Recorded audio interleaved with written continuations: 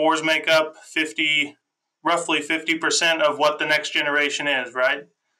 And so without the boar and it running at optimal levels, uh, we kind of have some problems there. And we want to keep the boar going and providing viable sperm that has good fertility. And uh, I think that starts with what we feed him.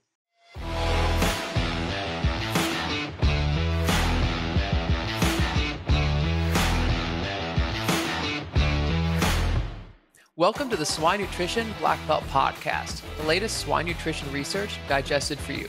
I'm your host, Clayton Chastain, and today we have with us Dr. Taw Scaff, a swine extension specialist and assistant professor at North Dakota State University. So, Taw, before we begin, would you mind giving the audience a brief introduction about yourself? Yeah, so uh, as you said, my name is Taw Scaff, uh, serving as the swine extension specialist here at North Dakota State. Uh, previous to this, I was a PhD student at Purdue University under Dr. Kara Stewart and Brian Richert. And prior to that, I did my bachelor's and master's at Oklahoma State, where I'm originally from. Wisenetix turns podcast airtime into brand authority. We don't sell ads, we elevate voices. Curious how far your voice can go to become a reference in the industry and attract more leads? Scan the QR code and discover how we can turn your expertise into unmatched brand authority. Let's transform expertise into influence, starting now. So, we talk a lot on this podcast about nursery pigs, finishing pigs, and sows, but I don't have many conversations about boar nutrition. And I understand from your PhD work that you did at Purdue that you did a lot of research regarding boars and boar nutrition. So, to start, why is boar nutrition so important? Well, just to kind of put it in uh, general terms here, is that boars make up 50, roughly 50% of what the next generation is, right?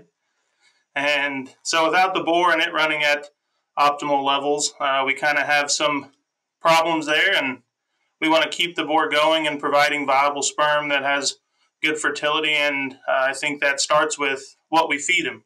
Gotcha. So, like you said, when it comes to the boar, what we really care about is that sperm viability.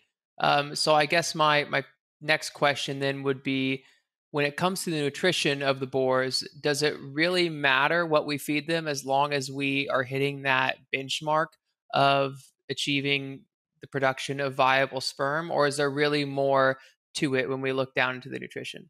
Well, I think if we are planning for the future, uh, you know, we have AI technologies that continue to develop and advance, and uh, we're looking at using less and less uh, billions of sperm per dose, especially if we're looking at PCAI or deep uterine AI.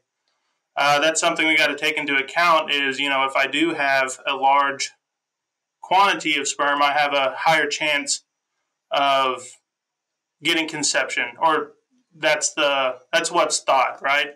Where if we go to those lower numbers, we are reducing that possibility of conception even further. So if we're not uh, providing that boar with adequate nutrition to provide to that semen and sperm so that it can uh, successfully make it to the ovary, uh, I think that's where we need to kind of reevaluate and look at that as, it, as we continue to decrease uh, the AI dose of sperm, how can we get that benchmark higher of what we're looking for with motility, morphology, and all that? Gotcha. So when you're looking at it from a nutrition aspect, how would you say that nutrition impacts the typical characteristics of sperm, such as motility? Yeah, just uh, some of my research uh, that was done at Purdue. Uh, we fed boars some low diets, uh, what I would consider, or boars that were fed under uh, maintenance requirements, at maintenance, and above maintenance. And we saw that if you feed those boars under their maintenance energy requirements for an extended period of time, our study was nine weeks, and then a crossover study of another nine weeks, uh, it really impacted some of those parameters. Uh, we saw volume decrease, and eventually some of those boars would even just stop collecting in general. And on the contrary, when they got too large, uh, we saw them kind of get lazy they didn't have a ton of libido. Uh, they didn't really want to get up and go to the collection dummy because there wasn't that what I would call that sense of reward after they collected uh, to then go back and be like, okay, now I'm hungry. They were, well, I'm full all the time. I can just sleep. I don't care about anything else. So you mentioned a few different technologies that are out there, such as PCAI, that are designed to reduce the amount of sperm that you use per dose. But what kind of technologies are out there when it comes to sperm and the boar? Yeah, so I'm not a exact expert in this, but I'll do my best to go through it. So PCAI, I know the normal semen dose is roughly about 3 billion sperm. And as we look at PCAI, that gets past the uh, block of the cervix. So PCI stands for post cervical artificial insemination.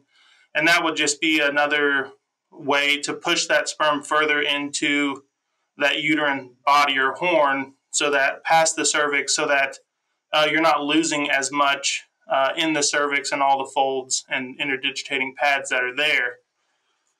Uh, and also with deep uterine AI, that goes a little bit further, again with an internal catheter. And really, what these are looking at is uh, reducing the number of sperm that is needed, but also maximizing that uh, boar's uh, collection essentially. So, how can we get that sperm pass, but also get more out of these uh, high indexing boars that we have, more doses? Gotcha. And then also looking at some other different types of research. What all research is out there over the last few decades, specifically looking at the boar? Uh, so I know uh, Dr. Karl Kerns at Iowa State does some boar research.